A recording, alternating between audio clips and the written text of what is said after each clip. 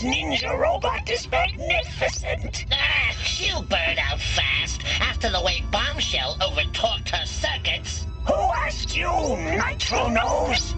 Nightbird won't burn out until she returns with the computer chip we need. It's all been programmed. If she returns, you mean? She's not so hot. She's hot enough to replace you whenever I choose.